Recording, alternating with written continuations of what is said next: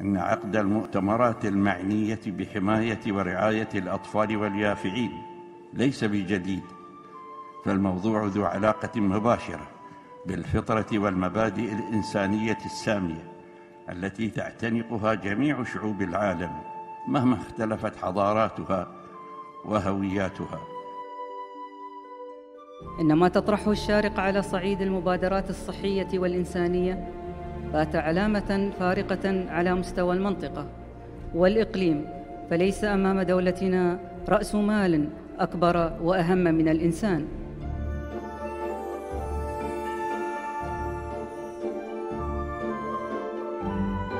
في العام 2010 انطلقت رحلتنا ليغدو المؤتمر اليوم من أهم الأحداث الصحية التي تحرص على مناقشة القضايا الصحية المعاصرة. حشد الجهود الدولية تجاه التحديات الصحية. منصة علمية تجمع نخبة من الخبراء الدوليين بالتعاون مع المنظمات المحلية والعالمية المعنية. إطلاق برامج ومبادرات لرفع مستوى الوعي لدى المجتمع حول أحدث الممارسات الصحية. الخروج بتوصيات ونتائج إيجابية لبناء مجتمع صحي خال من الأمراض. وها نحن نجتمع مجددا عن بعد متجاوزين التحديات رافعين هذا العام شعار.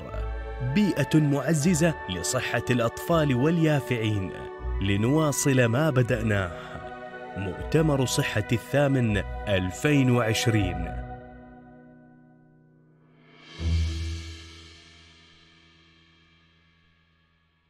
أصدقاء مرضى السرطان في آه، مؤتمر صحتي الافتراضي تحت رعاية كريمة من سمو الشيخ جواهر بن محمد بن سلطان القاسمي حرم سمو الشيخ سلطان بن محمد القاسمي حاكم إمارة حاكم إمارة الشارقة الرئيس المؤسس لجمعية أصدقاء مرضى السرطان. طبعا بداية آه، سنبتدي هذه الجلسة بعرض تقديمي آه، يشرح للجمهور طبيعة عمل جمعية أصدقاء مرضى السرطان في دعم مرضى السرطان على مستوى دولة الإمارات. طبعا بداية جمعية أصدقاء مرضى السرطان تسعى وتحاول في توفير الدعم المادي والمعنوي لمرضى السرطان على مستوى دولة الإمارات بدون أي تمييز. وتختلف آه، طبيعة آه، طبيعة الدعم لهؤلاء المرضى سواء كان المساعدات الطبيه يحتاجها هذه المرضى كالعلاج الكيماوي الجراحي العلاج الإشعاعي الأدوية. التصوير والتحليلات المختبرية وغيرها من العلاجات المختلفة بناء على الحالة المرضية ومتطلبات المريض. أيضا من جانب آخر تسعى مرضى تسعى جمعية أصدقاء مرضى السرطان بدعم المرضى آه، من خلال عقد الفعاليات والحملات اللي تكون مستمرة على طوال العام. عندنا نموذج اللي هي آه، رحلات العمرة التي تهدف آه، إلى دعم مرضى السرطان معنويا والتخفيف على معاناتهم من خلال أدائهم لمناسك العمرة والحج. وذلك طبعا إيمانا من الجمعية بأهمية الدعم النفسي للمرضى خلال فترة العلاج. أيضا هو الدعم المادي كما شرحنا آه، نوفر الدعم المادي لمرضى السرطان وعائلاتهم بغض النظر عن جنسية الجنسية أو العرق أو الجنس أو الدين لأن بالنهاية علاجات مرضى السرطان تكون جدا مكلفة وباهظة الثمن يعني وخصوصا إحنا نقوم بدعم المرضى السرطان الذي ذوي الدخل المحدود أو من يواجهون صعوبة في آه، تحمل نفقات آه، وتكاليف العلاج. آه، من جانب آخر آه، عندما نتطرق إلى موضوع الدعم النفسي إحنا في جمعيه أصدقاء مرضى السرطان لدينا حرص كبير على توفير البرامج المختلفة والمبادرات المتنوعة لعقد الفعاليات والمؤتمر والأنشطة المختلفة لهذه الفئة. وأيضا توجد آه، فعاليات مخصصة للسيدات والرجال وللأطفال كذلك.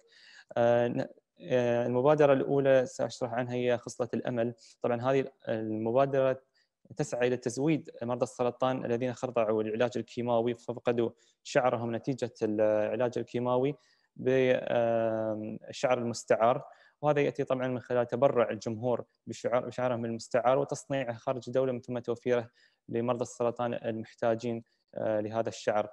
المبادرة الثانية هي لون عالمي. طبعا هذه المبادرة تسهم في الحد من التأثيرات السلبية لمرضى السرطان من خلال تنظيم فعاليات مختلفة يعني تتناسب مع تطلعاتهم و تضيف جو من البهجة والمرح على نفوسهم. وبالإضافة هذه طبعا تكون الفعالية مخصصة أكثر للرجال والنساء اللي هم أكبر سنا. ولدينا مبادرة أخرى وهي عربة المرح تكون خصيصا أكثر للأطفال. وطبعا هذه المبادره عربه المرح تهدف إلى دعم الأطفال المتواجدين آه، حاليا في المستشفيات وأيضا خارج المستشفيات عن طريق دعمهم من خلال الفعاليات والأنشطة المختلفة آه، والتي تتناسب مع آه، احتياجاتهم كونهم يمرون بهذه الفترة الصعبة ليس هم كأطفال في حد ذاتهم أيضا العائلة والأسرة بأكملها. طبعا كما ترون لدينا كثير من الفعاليات التي تم عقدها خلال هذه السنة. آه، فعاليات مختلفة. لدينا مثلا لون عالمي في عندنا دورات مختلفة للسيدات المصابات بالسرطان والناجيات كذلك. آه، لدينا آه، طبعا بسبب جائحة كورونا قمنا بتحويل جميع الفعاليات الدعم المعنوي إلى إلى فعاليات افتراضية وورش افتراضية. حتى يعني نحرص على أننا ما زلنا مستمرين في دعم هؤلاء المرضى. حتى في الأوقات الصعبة وخلال انتشار هذا الوباء. من جانب آخر في عربه المرح لدينا الكثير من الفعاليات التي تم التعاون من خلالها مع المستشفيات على مستوى دولة الإمارات. آه، لدينا مثلا رحلة افتراضية قمنا بها لمزرعة الأطفال. ما هنا الناس قد يواجهون صعوبة للذهاب إلى الرحلات أو زيارة الأماكن الذي يكون فيها تجمعات فإحنا سهلنا على هؤلاء الأطفال بتوفير هذه الرحلة الافتراضية بالتعاون مع هيئة البيئة والمحميات الطبيعية وغيرها من الفعاليات الكثيرة. طبعا بالمجمل آه، إجمالي عدد الفعاليات آه، آه، حضور للفعاليات التي تم حصدها خلال هذا العام في فعاليات لون عالمي تم عقد 18 فعالية وكان إجمالي المشاركين حوالي 1084 سيد وسيدة من مرضى السرطان والناجين. بالمقابل من خلال فعاليات عربة المرح التي تم إعدادها هذه السنة هي 13 فعالية وتم مشاركة حوالي 743 طفل من مختلف آه، المستشفيات الموجودة في دولة الإمارات والآن طبعا انتهينا من العرض التقديمي الخاص بجمعية أصدقاء مرضى السرطان وأود الآن آه، الترحيب آه، بضيوفنا اليافعين الأبطال الذين حاربوا مرضى السرطان بكل شجاعة. وهم كانوا يعني يعانون من هذا المرض من يعني بالسن قصير سن صغير جدا وهم في عز شبابهم. فبداية أنا أرحب بالسيدة نرمين آه، كيف حالك؟ السلام عليكم تمام الحمد لله. طمنينا عنك وعن صحتك آه، الآن. ما هل اجتزتي مرحلة السرطان والعلاجات وكيف حالك الآن آه، ما بعد تجاوزك هذه المرحلة الصعبة؟ تمام الحمد لله لسه بتعرض لي الجلسات الكيميائية بس إن نعم. شاء الله باقي ثلاث جلسات فبإذن الله بنتهي قريب بإذن الله تعالى وأسأل الله إن شاء الله لك الشفاء العاجل آه، نرحب بالضيفة الثانية معنا السيدة رنيم.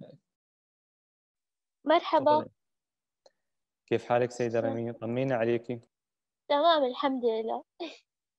إذا ممكن بس تعطينا نبذة للجمهور تعرفين عن حالك.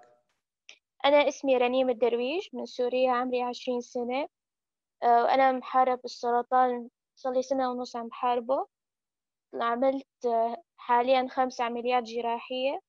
وأخذت خمس. آه، أربع جرعات كيماوي وهلا ح... وهلا حاليا حبلش بجرعات إشعة بعلاج الإشاعي ولهلا عم أحارب نتمنى لك إن شاء الله الشفاء العاجل وأنت أيضا محاربة وهذا المرض ليس بالسهل ونحن نسأل الله لك الشفاء العاجل. آه، نرمين إذا أيضا ممكن تعطينا نبذة بسيطة عن نفسك للجمهور. نرمين علي آه، من مصر آه، محاربة سرطان من خلال سنة لحد الآن باخذ جلسات كيميائية متعرضة للعملية القدم وإن شاء الله الجلسات الإشعاعية هتكون بعد الجلسات الكيميائية يعني. إن شاء الله. طبعا هو كما هو معروف أن مرض السرطان يعاني فيه الفرد يعني اللي يخضعون للعلاج وهذه المعاناة مو بس تكون جانب يعني جسدي من مثلا الضرر النفسي اللي تتعرض يتعرض له الجسم من خلال العلاجات اللي تكون قاسية بعض الشيء لانها تؤثر على طاقة الإنسان وأيضا على مظهره بشكل عام. أيضا له أثر آه، ليس أقل من الضرر النفسي هو الضرر النفسي الضرر الجسدي هو الضرر النفسي طبعا اللي آه، يمر فيها هذا المريض من خلال يعني مراحل العلاج اللي تكون مطولة ومنهكة للجسد وللنفس. فأنا بغيت آه، أسأل معانا رنيم تجربتك مع هذا المرض بشكل عام إذا ممكن توجزيها بصورة بسيطة توضحين المراحل اللي مريتي فيها مع هذا المرض وكيف كانت آه، آه، الطابع النفسي اللي مريتي فيه خلال هذه الفترة؟ بصراحة كان فت... كانت فترة كتير صعبة يعني كان مرض غير متوقع كان مرض صعب. يعني من خلال علاجي الكيميائي كمان ضررت أكثر. تركت دراستي تركت حياتي العادية. إجيت لكافح مرض ما متوقعينه حدا. ما حدا متوقع بعيلتي وخصوصا أنا كانت بالنسبة لي صدمة كبيرة. و... ولهلا يعني عم حاول وكافح عشان يعني عشان أجعل حياتي مثل ما كانت وأحسن إن شاء الله ترجع حياتك مثل ما كانت وأفضل يا رنيم نرمين إذا ممكن أيضا أنت كذلك تجزينا المرحلة اللي مريتي فيها خلال علاجك مع السرطان. مرحلة صعبة. يمكن قبلها كان آه، مع يمكن أو معروف إن مرض السرطان أوقات إنه هو يكون مصمت ملهوش آه، ألم. بس أنا تقريبا يعتبر إن حاربت المرض آه، في خفاء أو في السكون لأن أنا تعرضت لألم السرطان قبل قبل ما يكتشفوا إن أنا عندي سرطان بسنة واكتشفوا كمان الوجع النفسي أو البدني كان برضو بعد سنة من اكتشاف المرض.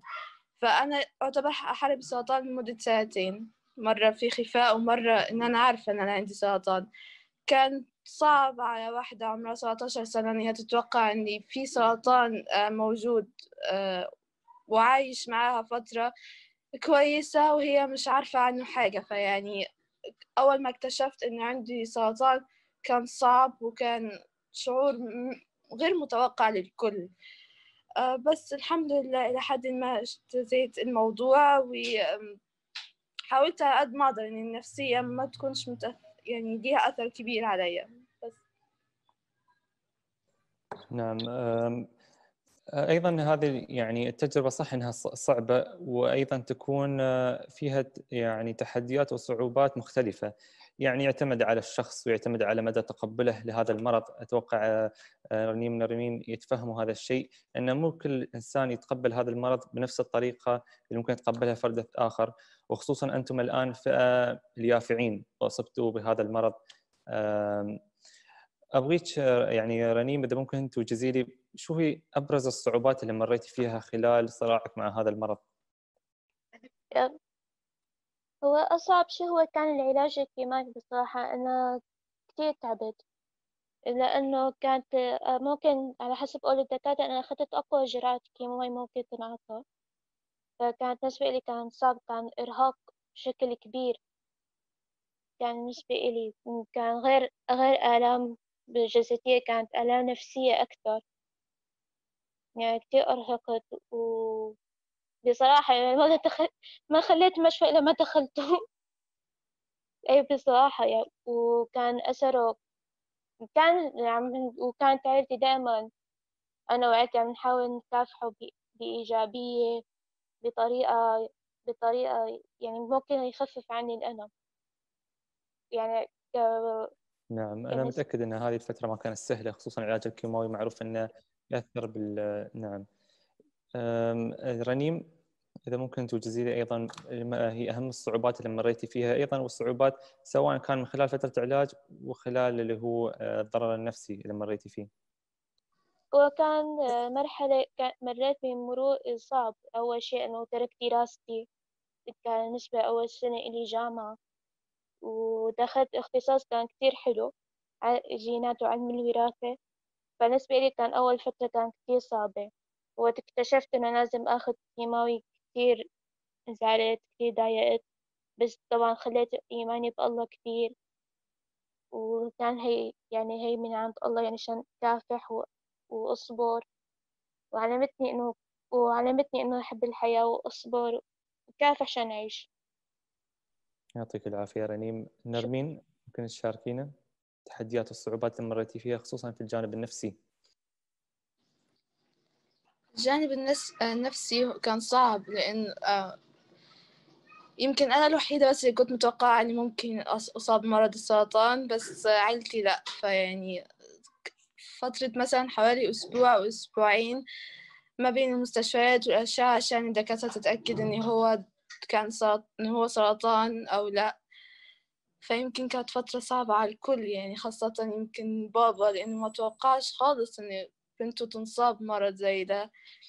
أه بس إلى حد ما كان أه يعني أكبر حافز خلانا إن إحنا نكمل وإني نفس نفسيتي أنا بالذات تتعدل إنه دايما الحمد لله بعد فضل ربنا كان دايما بابا وماما ورايا. فإنه أنا ما حسيتش خالص إن أنا كأني عندي سرطان بالعكس كانوا بيتصرفوا معايا يعني عادية مش مختلفة.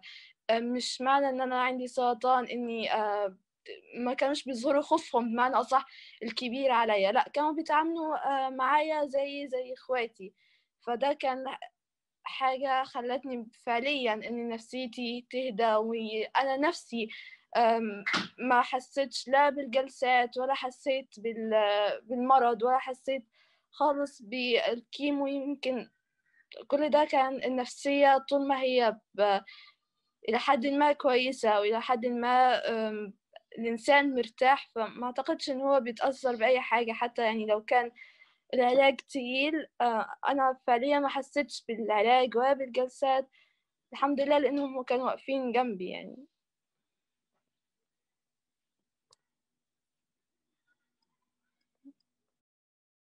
آه نعم. طبعا تطرقتي لنقطة جدا مهمة السيدة آه آنسة نرمين. اللي هو اللي هو موضوع آه، دعم الأهل للمريض هذا. طبعا الدعم النفسي ممكن ان يأتي مو بس فقط من من الأهل أيضا يأتي من الأفراد والطاقم الطبي والناس حوالين هذا المريض. لأن بالنهاية آه، هؤلاء الناس هي آه، مثل ما نسميهم نحن القرية اللي يعيش فيها هذا المريض ويستمد منها الطاقة سواء كانت طاقة إيجابية سلبية أي مشاعر كانت سائدة بين هذه حوالين هذا المريض يتأثر في هذا المريض. أنت الآن شرحتي اللي هو الجانب جانب الصعوبات النفسية اللي مريتي فيها خلال فترة العلاج لكن ما بعد تخطي آه، فترة العلاج يعني بشكل أكبر الآن أنت إن شاء الله يعني آه، في إن شاء الله يعني آخر جلسات كيماوي نسأل الله تعالى تكون هذه آخر الجلسات ويبعد عنك المرض وعن جميع المرضى اللي يعانون من هذا المرض القاسي. هل تحسين الدعم يجب عليه أن يستمر أيضا بعد الانتهاء؟ من فترة العلاج أم تحسين مرحلة مرحلة العلاج هي المرحلة الحرجة التي تحتاج فقط إلى الدعم النفسي سواء كان من الأهل أو البيئة المحيطة؟ فترة العلاج طبعا بالنسبة لي فترة العلاج لأن زي ما رنيم قالت إن العلاج الكيماوي صعب وبيختلف على حسب آه، الحالة بتاعة السرطان بيختلف على تحديد آه، مستوى السرطان إذا كان في المرحلة الأولى أو في المرحلة الرابعة. أنا كنت في المرحلة الرابعة وتقريبا أعتقد كانت في أواخر المرحلة الرابعة كمان. فكان برضو نوع الكيمو صعب لكن إن الفترة اللي لازم الدعم النفسي يكون موجود فيها هي فترة العلاج.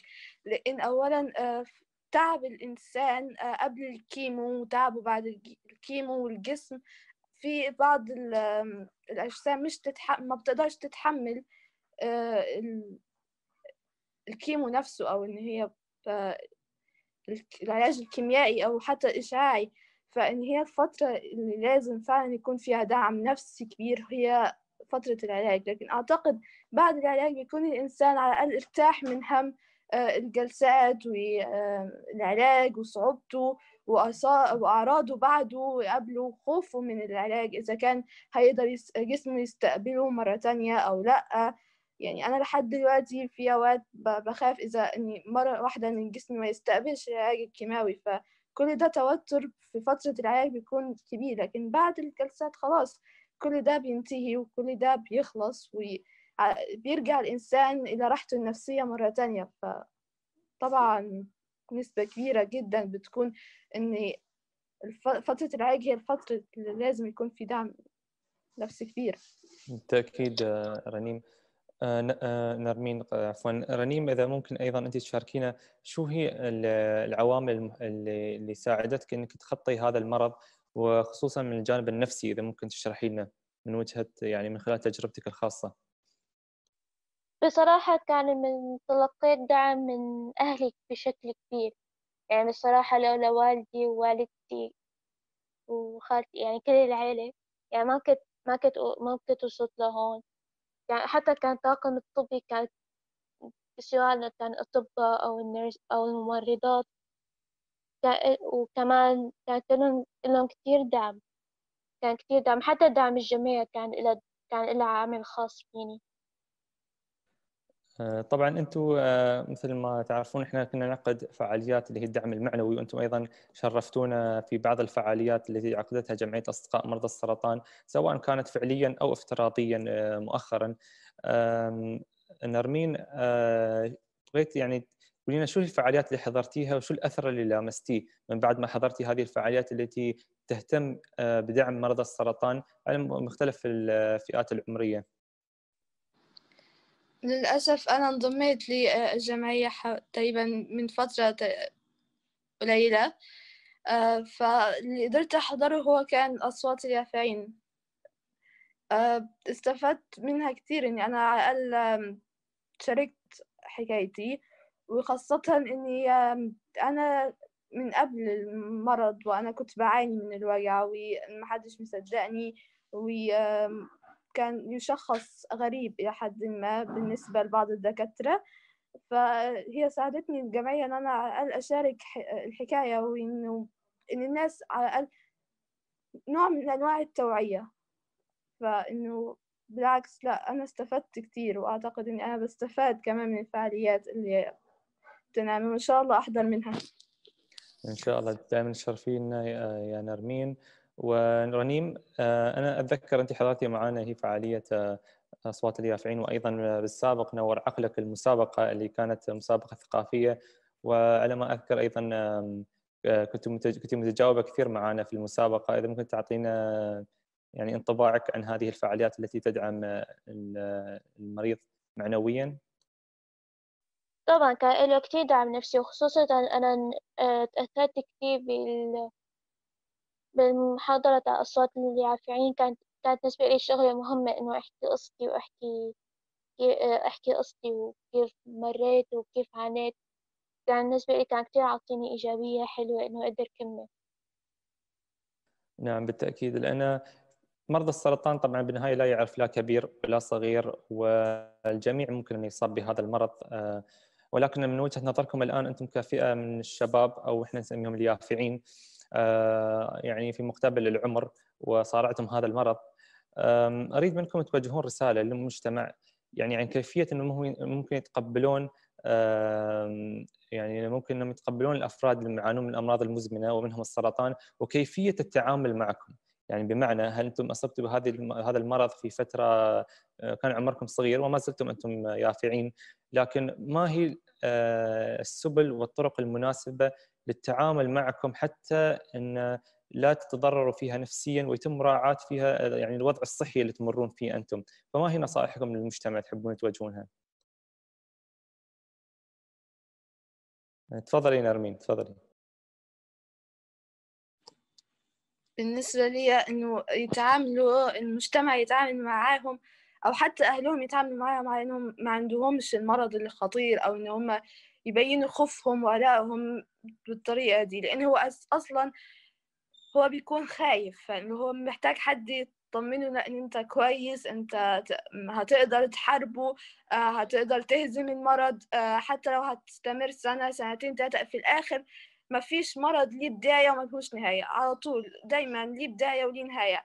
بس هي الاختلاف في الفترة. فإحنا لو فضلنا نبين لهم خوفنا عليهم إن هم آه، آه، لأ ابعدوا عن التجمعات أو كده ما أعتقدش إن هم هيتحسنوا. لكن إن هم سيبوهم يتعاملوا طبيعتهم هم عارفين هم بيعملوا إيه. يعني كل واحد بعمر يقدر يعرف إيه الصح وإيه الغلط. لكن إحنا هنبين خوفنا عليهم هنفضل نقول لهم لأ ما تعملوش كده. ما أعتقدش إن في تحسن. بس وبالنسبة لرسالة مني ليهم إنه لما تعرفوا إن أنتوا عندكم سرطان ما تخافوش. خلوا ثقتكم بربنا كبير كبيرة هتعدي. آه، فترة وهتعدي. سنة سنتين ثلاثة هتعدي. لأن زي ما قلت مفيش مرض ليه بداية وملهوش نهاية. إحنا بس محتاج شوية قوة وإصرار إن إحنا هنهزمه وهنهزمه. وثقتنا نعم. بربنا وإيماننا بربنا طول ما هو كبير وقوي هيخفف فعليا حاجات كتير وهيخفف علينا الجلسات هيخفف علينا المرض وهن... وأنا نفسي عن تجربة شخصية أنا نفسي ما حسيتش خالص إني أنا مريضة سرطان وما حسيتش خالص إن أنا كنت باخد جلسات بالعكس أنا حسيت إنه هو آه، دور برد تقيل وخلاص هينتهي نعم بالتأكيد. وهذه طبعا نقطة جدا مهمة أن أيضا مريض السرطان لا نشعره وخصوصا إذا كان يافع ومقبل على الحياة لا نشعره بأنه آه، ناقص إذا أصاب بهذا المرض أو إنه غير متمكن على إنه يمارس أنشطته اليومية، صح إنه ممكن علاج السرطان ياثر يعني على البدن وعلى النفس، لكن بالنهاية لا نشعره بالنهاية إنه إنسان ناقص أو طفل ناقص كون إنه يعاني من هذا المرض المزمن. آه، رنيم أيضا حاب أسمع مشاركتك شو تحبي توجهي رسالة للمجتمع والجمهور عن كيفية عن التعامل المناسب مع المرضى سواء كانوا أطفال أو يافعين وما هو أهمية الصحة النفسية لهذه الفئة اللي يعانون من مرض السرطان.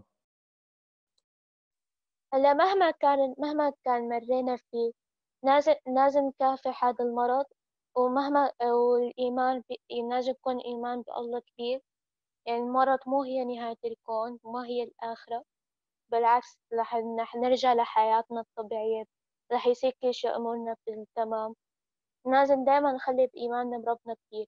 مهما كان صح إنه مرض مو سهل صح إنه مرض صعب بس لازم لازم بس لازم دايما نكون أملنا كتير. مو هي نهاية الكون. أكيد هذه مو نهاية نهاية الكون وممكن هذا يكون تحدي على بعض الأفراد لكن بإذن الله سوف يتجاوزونه يعني مثل ما ذكرتي يجب على هذا المريض يكون إيمانه بالله قوي. آه، رنيم هل شعرتي بأي نوع من آه، يعني التفرقة أو أي نوع من الحساسية؟ كون أنت فقط مصابة بهذا المرض خلال فترة العلاج؟ لا والله ما حسيت لا بالتفرقة ولا شيء بالعكس كنت مثل أي إنسان عادي عم بيمشي. بالعكس كأنه مثل أي حدا. ما حسيت لا بتفرقة ولا ولا حساسية أو شيء.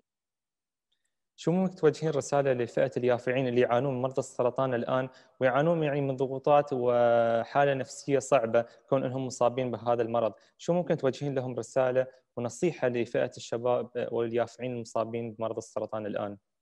النصيحة إنه دائما الإيمان بالله لازم يكون بإيمان بالله كبير.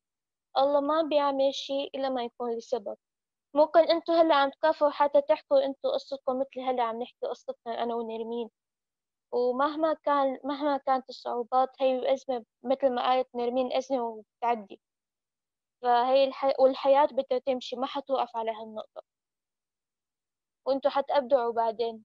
بالعكس ممكن هذا المرض يكون فيها فرصة لحتى آه، ممكن تأبدع ممكن بأي شيء.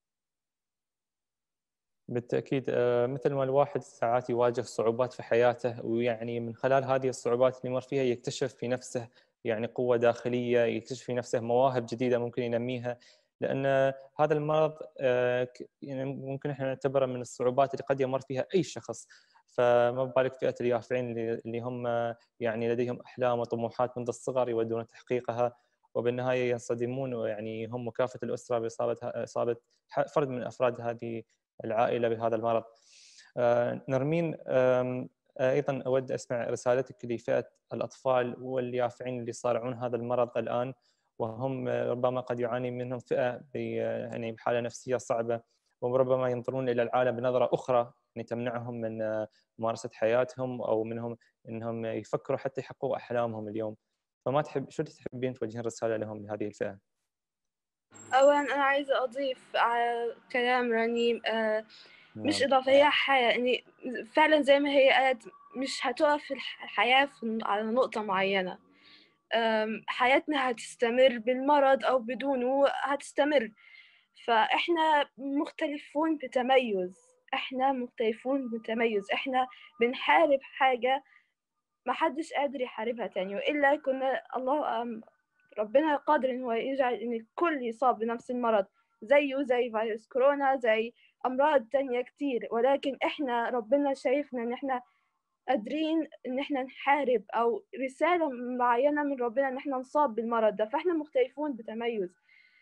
رسالتي ليهم إن هم الدنيا مش هتقف في النقطة دي. فالأحسن إن إحنا نحارب ونبدع آه، وإحنا حتى أصحاب المرض. أنا مريضة سرطان إلى حد ما بحاول على قد ما أقدر إن أنا أكمل طريقي في الثانوي وإني أستمر عادي. إني أنا ما عنديش مرض اللي هو الخطير يا جماعة. أنا أيوة صح عندي سرطان بس هفضل أعيط هقعد في الأوضة وأزعل وأكتئب وكل جلسة أروح أتخانق مع الدكاترة أو أتخانق مع صف الممرضين. ليه؟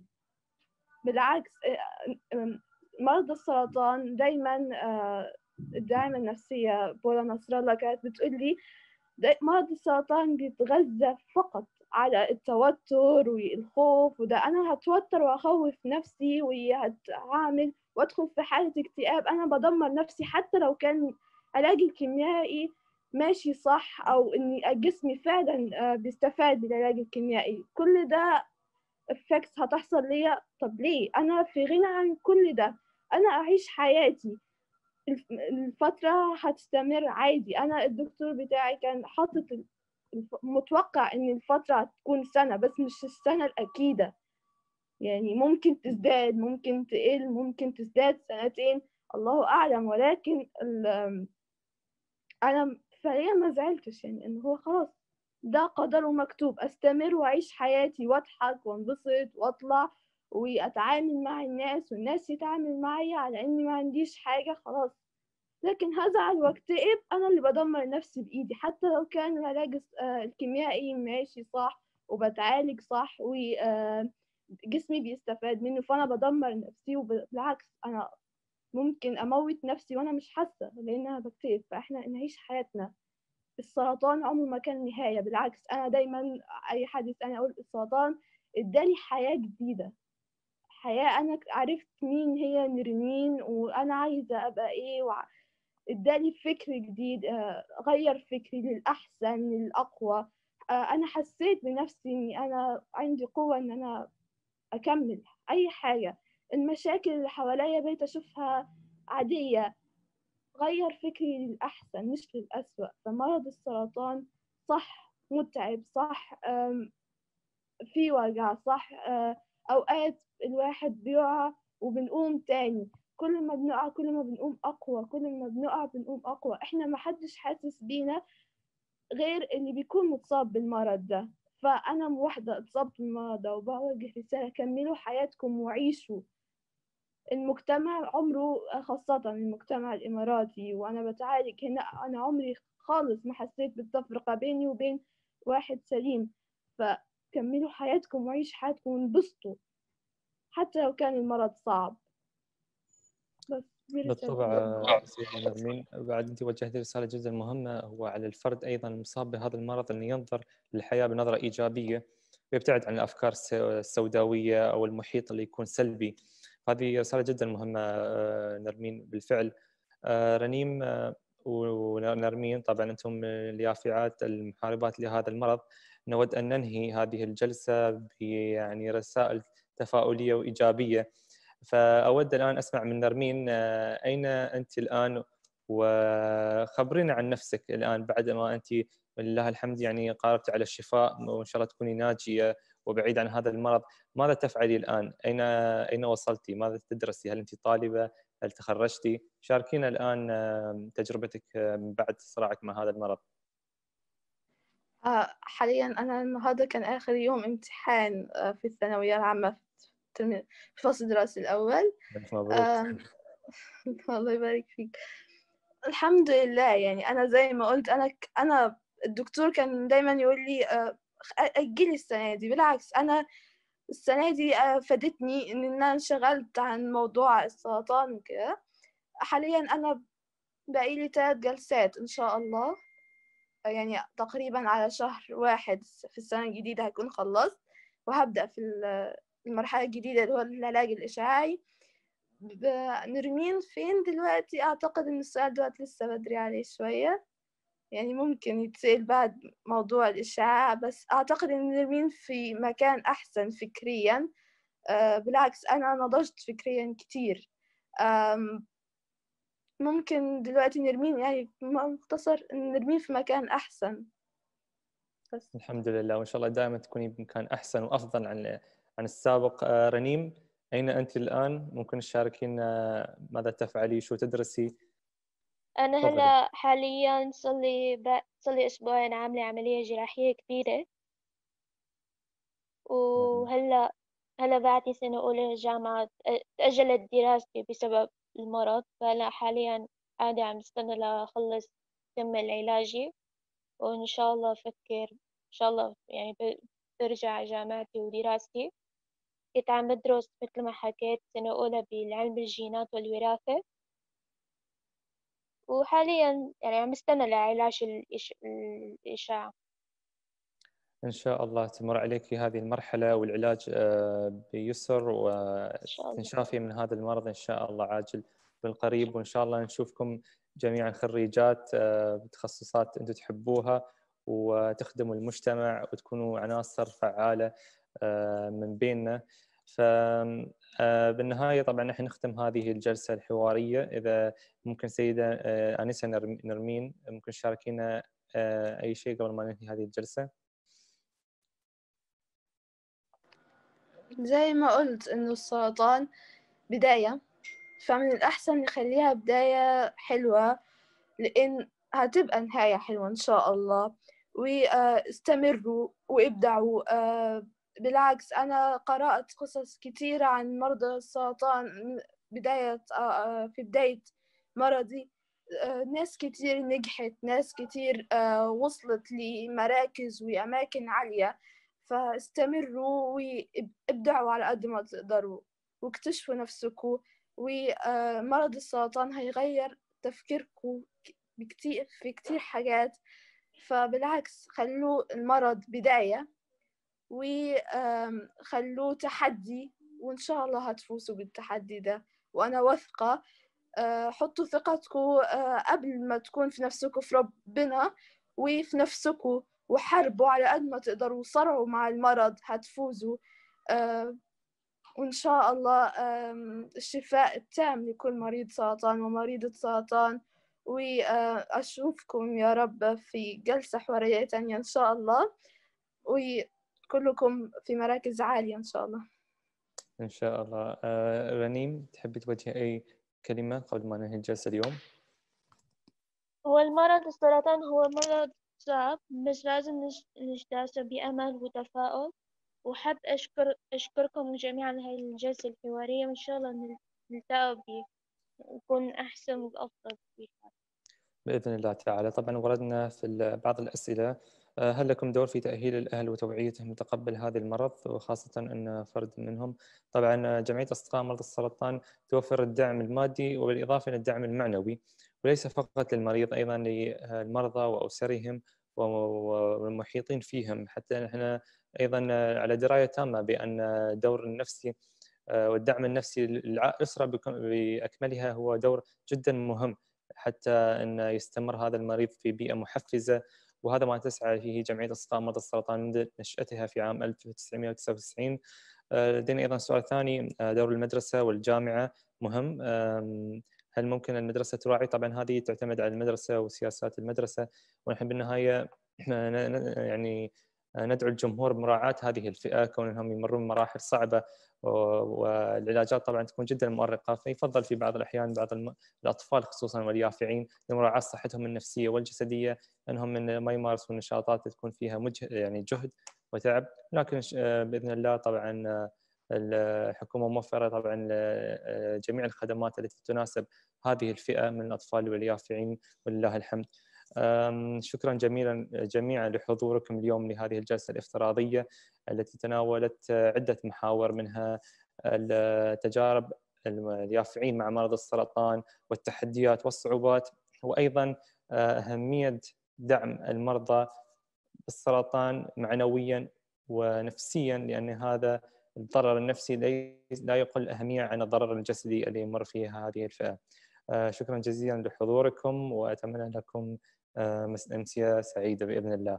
مع السلامة. في حفظ الله.